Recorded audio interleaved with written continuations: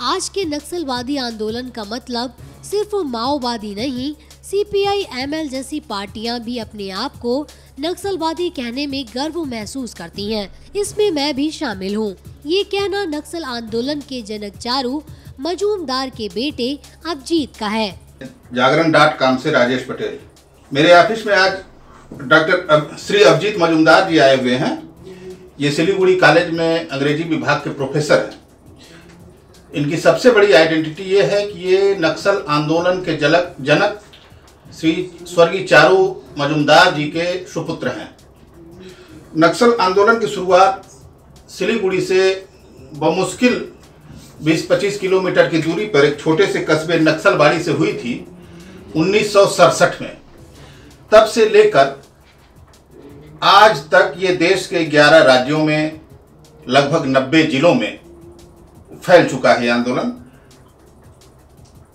ये अपने पिताजी के साथ इनका भी काफ़ी समय बीता है। मैं उस दौर की यादों को इनसे साझा करना चाहता हूँ। आप लोग भी सुनिए।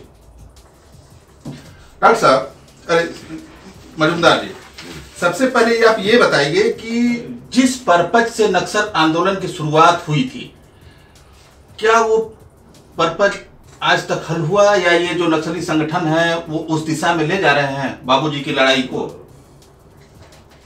देखिए, हमारे सोच में जिस मुद्दे को लेकर, जैसे जिसको आप नक्सलवाद कहते हैं, हम नहीं समझते कि ये ये अलग से कुछ है नहीं। अगर पूरे दुनिया के कम्युनिस्ट आंदोलन को आप देखें, हमारे देश की कम्युनिस्ट आंदोलन की जो परंपरा रही उसी के साथ साथ ही एक लीप फॉरवर्ड के रूप में नक्सलवाड़ी में जो किसान अब उत्थान रहे और ये घटी थी। और इसका तो एकदम मैंने ठोस मुद्दा जो है वो तो हैप्स और हैव नॉट्स के अंदर जो आपका वर्ग जो संघर्ष है इस संघर्ष को तीखा करके अभी एक समानता के रूप में एक एक, एक सोशलिस्ट जो इगालिटेरियनिज्म है, जो समानता है, इस समानता को लाने के लिए किसान की संगठन, जो संघर्ष, संगठन बनाना, संघर्ष करना, उसको वामपंथी दिशाओं में लेके जाना, एक क्रांतिकारी दिशा में लेके जाना, यही नक्सल आंदोलन का पीछे सबसे बड़ी रूप था। और उन दिनों में 1966 को आप 67 के बाद बताएँ 66 में आप देखें कि बंगाल में भूखमरी से लोग मर रहे थे। एक जैसे ही फामीन जैसे बहुत ही खाद्य संकट पैदा हो गया था। और हमारे हिंदुस्तान में जो स्वतंत्रता आई है 1947 में तो ये दुर्भाग्य की बात है कि उसके बाद 20 साल के अंदर 1947 टू 1967 जो लोग हमारे स्वतंत्रता आंदोलन में सबसे भारी रूप में भाग भाग लिए थे, वो हमारे देश के किसान, हमारे देश के मजदूर। हमारे देश के गरीब आदमी। लेकिन उनके साथ एक विश्वासघात जो हुई, इसका जानकारी, इसका अंदर से दिखना, ये उनके पास आ गया था कि भाई, किसानों के खास करके, जो सरकार ने हमारी, जो करना था, जो नया भारत का निर्माण होगा, उसमें किसान की भागीदारी, वो जो काम करेगी, करेंगे, उसका अच्छी रूप में, उसका दाम मिलेगा, वो अपना जी सकेंगे ये नहीं हुई आप लोग तो एक जमींदार परिवार से थे तो फिर ये मजदूरों की लड़ाई कहाँ से आ गई? अरे देखिए जमींदार परिवार नहीं है एक जोतदार के रूप में। जमींदार अलग है ज़मीन यहाँ तो नॉर्थ बंगाल में ऐसे ही जमींदार आपको मिलेगा नहीं। मैंने बीस बीस शताब्दी में आपको कहीं कहीं पे जमींदार ऐसा नहीं रहा कई लोग पहले के छोड़कर हमारे परिवार का जो था वो कोई चार मजुमदार जी ने उसको अपनाए नहीं। क्योंकि चार मजुमदार जी ने जब राजनीति में आए तब वो कॉलेज में पढ़ते थे। मतलब सिलीगुड़ी में कोई कॉलेज नहीं रहा। ये आपका अभी का जो बांग्लादेश है वह पाबना एडवर्ड कॉलेज बहुत अच्छा कॉलेज रहा। यहाँ सिलीगुड़ी में कोई कॉलेज नहीं रहा। जलपाईगुड़ी में कोई कॉलेज नहीं था। तो उन दिनों में सब जाते थे आफ्टर स्कूल पास करके। वहीं पे जाते थे तो पाबना एडवर्ड कॉलेज थे। पाबना एडवर्ड कॉलेज में उन दिनों में इंटरमीडिएट रहा। इंटरमीडिएट में साइंस लेके मेरा पिताजी पढ़ रहे थे। उन दिनों में आप देखेंगे 1945 46 43 का आसपास तब बंगाल में तेभागा आंदोलन जो किसान मांग किए थे कि जब हम जो आबादी का मैंने जो हम फैला रहे हैं इसी में थ्री फोर्थ भाग तो हमको मिलना है। जो एबसेंटी लैंडलॉर्ड है वो तो बाहर रहते हैं वो काम नहीं करते हैं। लेकिन उठा के लेके जाते हैं जो अपना प्राइवेट आर्मी है उसको। आप लोगों को क्या दुश्वारियाँ झेलनी पड़ती थी? एक छोटे छोटे आप लोग रहे होंगे आपकी माँ रही होंगी भाई परिवार। बहुत कुछ झेलना पड़ा बहुत कुछ झेलना पड़ा। इसमें देखिए मेरा पिताजी पहले से ही जो हम छोटे थे एकदम मेरा जन्म 1960 में हुआ है। तो 1962 में चीन के साथ जो सीमांत संघर्ष 1965 में पाकिस्तान के साथ। ये सब बारे में हर बार हमारे पिताजी को पुलिस उठा के जेल में डालते थे। तो हम छोटे से ही इसको देख आदत बन गया था। लेकिन हम कभी भी देखे नहीं कि कोई हमारे मैंने पिताजी के खिलाफ हमारा कुछ अंदर में आ गया है भाई ये तो क्या है? बाकी का पिताजी से मिलता जुलता नहीं है लेकिन ये जो हमारे एक प्राउड टेक था इसमें कि हमारे पिताजी अलग है ये बहुत बड़ा आदमी है। ये हम, हम हमारा छोटे से ही हम मानने लगे देखने लगे। और पुलिस के साथ हम सोच हम देखे कि भाई ये जो हमारे इंडिपेंडेंट इंडिया है उसका पुलिस का रुख कैसा हो सकता है? तब 1967 के बाद जब नक्सलवाड़ी हुई उसी वक्त तो जेल में लेके गए, लेकिन उसके बाद 1969 में सीपीआई एमएल गठन गठित हुई। ट्वेंटी अप्रैल को। तो उसके बाद नवंबर में 1969 के नवंबर में हमारे पिताजी भूमिगत हो गए, क्योंकि पार्टी को वो निषिद्ध कर दिए। भारत सरकार ने। तब उसी वक्त से 1969 के नवंबर से 1972 में लाल बाज़ार में मेरा पिताजी को मार दिया गया। तो ये जो पीरियड था इसी पीरियड में पुलिस आते थे रेड करते थे मेरे माता जी खड़े होके इसको मुकाबला करते थे। हम तो छोटे छोटे थे और जब जेल में चार मजुमदार जी रहे तो हम बहुत ही छोटे रहे। उसी में हम लोग जाते रहे जेल में मिलते रहे। तो ऐसे एक अलग से माहौल में हम जी रहे थे। तो उसमें हमारे अंदर कोई डर नहीं था। और हम नहीं सोचते कि भाई कभी हम बड़े होंगे कोई नौकरी करेंगे क्या पढ़ाएँगे वो हमको सोच में था ही नहीं। हम समझते थे कि भाई अगर ऐसे ही संघर्ष में हमारा जान चला जाए फिर भी हम इसको नहीं इसको खिलाफ नहीं कहे मैंने कभी भी सुना सोचा कि आपको बॉडी भी नहीं मिली आप लोगों को उनकी? नहीं बॉडी तो नहीं दिए। हम्म, हमारी माता जी ने मांग की थी जी। कि हम सिलीगुड़ी में ले जाएँगे। तो वो एकदम पुलिस स्कॉट के साथ सीआरपी को लेकर घेर के पूरा जो शमशान घाट था था कलकत्ता में उसी में पूरा घेर के बाहर का जो आदमी जो उसमें आया- लाया था बॉडी पहले से उसको धकेल के बाहर कर दिए। और एकदम बाई क्वेश्चन एकदम ठोस कदम लेके कोई दिया नहीं। तो इसको इनकार कर दिए कि उसका डर था अगर ये बॉडी सिलीगुड़ी में आए तो इसको लेकर हलचल रहेगा। और ये बात बहुत पुष्ट से आगे आ जाएगा कि भाई ये ये ये हत्या है ये कोई ऐसी नेचुरल डेथ तो है चारूदा जी तो बहुत पहले चले गए लेकिन कानूदा काफ़ी दिनों तक जीवित रहे। और अंत में उनकी भी जो आज का नक्सल मूवमेंट है इसको लेके हताशा सामने आई। ये अलग बात था। देखिए आज की नक्सल आंदोलन को आप लोग सोचते हैं कि वो माओवादियों के आंदोलन है।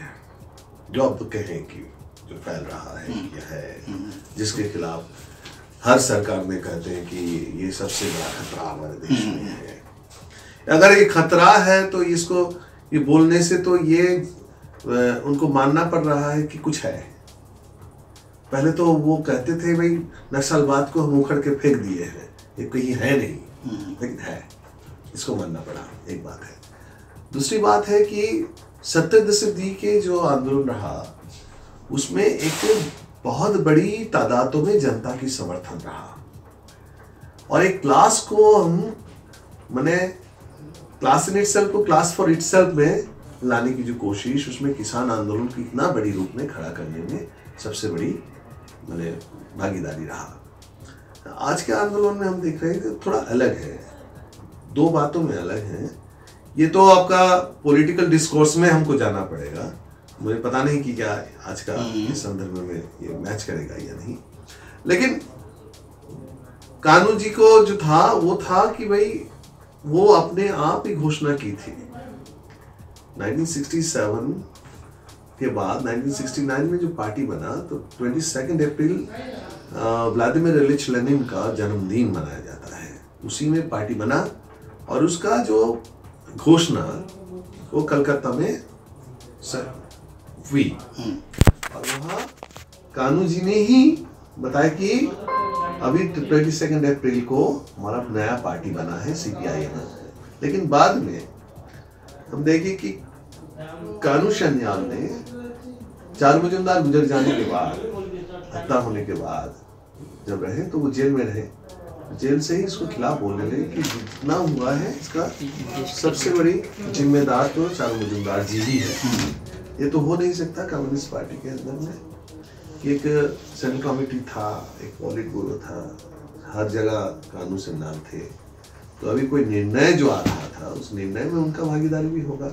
अगर उसके खिलाफ कहते थे नहीं नहीं, मेरे कहने का मतलब यह है, सर, कि जो जिस आंदोलन की शुरुआत हुई क्या वही आंदोलन आज तक चल रहा है कि ये लोग भटक गए हैं? नहीं नहीं चल तो रहा है चल तो रहा है। ऐसा नहीं कि आप तो उसी आंदोलन को सिर्फ़ माओवादियों के अंदर देखने की कोशिश करें।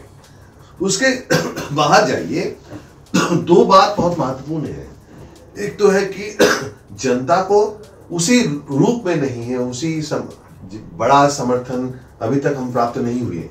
ये हकीकत है। जिस गरीब गुरबों की लड़ाई लड़ने की बात करते हैं और नक्सल आंदोलन में या नक्सली हिंसा में जिनकी हत्याएँ होती हैं वो तो गरीब घर से ही आते हैं। हम उस हत्या के पक्षधर नहीं है। लेवी वसूलने का एक लेकिन आपको राष्ट्र है राष्ट्र आपको कुचलने चाहे तो आपको हथियार से ही उसका मुकाबला करना पड़ेगा।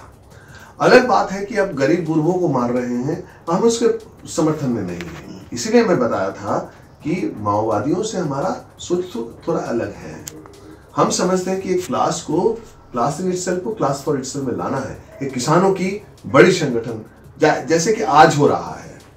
अब जन आंदोलन में देखिए तो इतनी बड़ी तादादों में किसान रास्ता पकड़ लिए हैं। इनको अब क्रांति की दिशा में लाना ये हमारा फ़र्ज़ बनता है।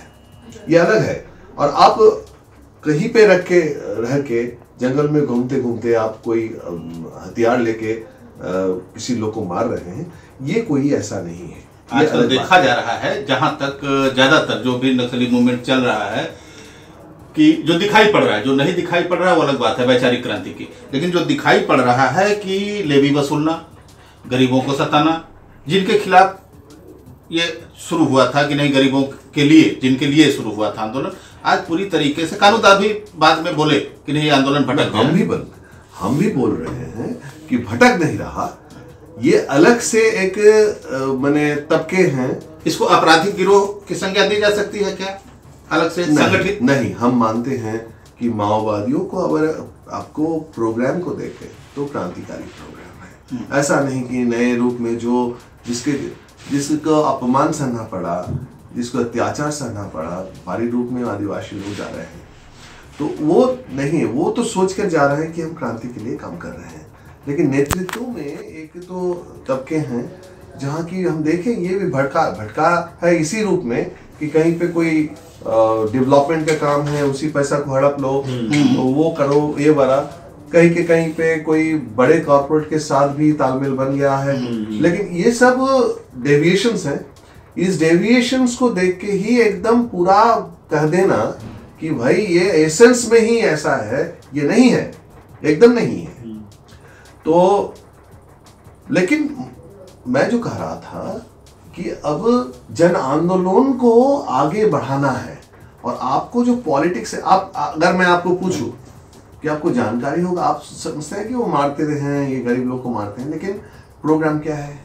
जानकारी नहीं है। लेकिन सत्तर दशदी में नक्सलवादी लोग क्या करना चाहते हैं, ये लोगों के अंदर गया था इसीलिए मैं कह रहा हूँ ना कि कहीं भटक तो नहीं गया है उनका उद्देश्य वो अपनी बात समझा नहीं पा रहे के बारे में हम ज़्यादा नहीं बोलेंगे लेकिन हम समझते हैं कि एसेंस ये क्रांतिकारी है लेकिन हाँ उसका जो टैक्टिकल लाइन है हाँ, टैक्टिक्स में उनका भटक गए हैं। टैक्टिक्स पलट देना चाहिए और आज की जन आंदोलन के साथ कुछ ना कुछ अभी जोड़ना चाहिए।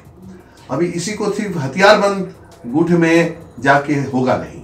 इसको अलग से आपको पॉलिटिक्स को पॉपुलर बनाना पॉपुलर बनाना होगा। ये जो मैंने चुनौती है उनके सामने हम इसीलिए समझते हैं कि इनको वो सोचने लगे हैं स्थिति बदल रहा है तो उसमें ज़रूर सोचने लगे हैं और इसका थोड़ा दूसरा परिणाम निकल सकता है। लेकिन ये नहीं है कि जो लोग के ऊपर अत्याचार आप छत्तीसगढ़ को देखें झारखंड को देखें आप आंध्र प्रदेश में देखें ज़्यादा तौर पे अब कारपोरेट लूट हो रहा है। एकदम सरासर लूट हो रहा है और इसमें गाँव के गाँव 300 गाँव को जला दिए छत्तीसगढ़ में। संविधान को मानते हैं कि नहीं ये लोग?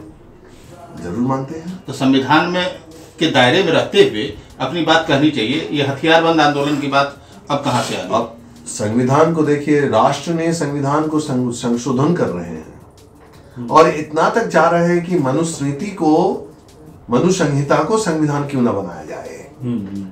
तो अगर ये रेडिकल नेगेटिव रेडिकल रूप में कर रहे हैं तो अगर कोई सोचे कि संविधान को पलटना भी ज़रूरी है और जनवादी बनाना है तो इसमें हम गलत काम नहीं सोचते हैं कि ये गलत बात है। हम नहीं सोचते। ठीक है धन्यवाद मुजमुदार जी। हाँ नमस्कार।